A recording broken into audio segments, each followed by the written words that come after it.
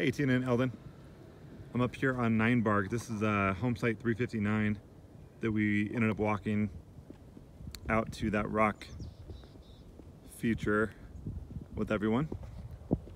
The very first house we walked was one to the right of that one, 357, which uh, had that incredible view.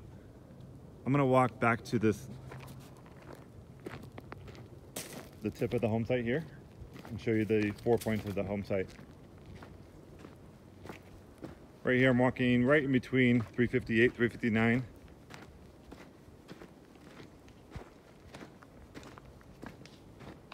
The setbacks on each side are 15 feet.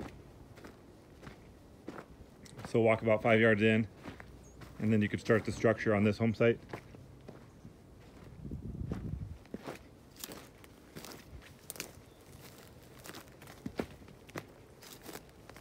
You can see where the rock really feature starts. And you can see that on the plot map. I'm gonna walk up.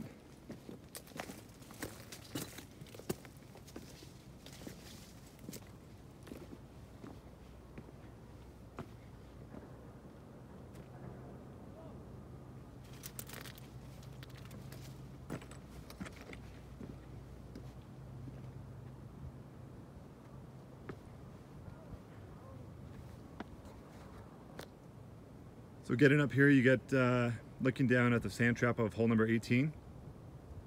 And there's also a creek that kind of runs back behind here.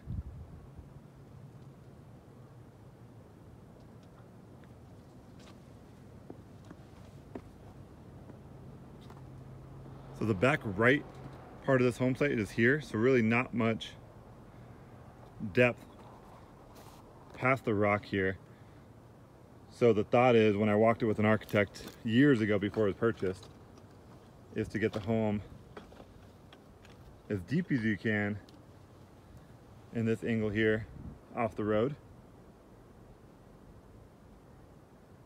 And like we talked about, building something in here, using you know that feature right there, putting a hot tub, some steps up here, you know, kind of leveling out maybe a little bit of this rock so you have a, a walk-in view.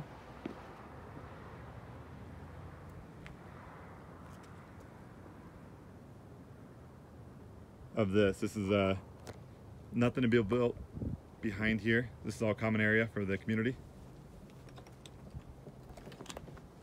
I'm gonna walk towards the left here. And so you can see that stake here, the back left.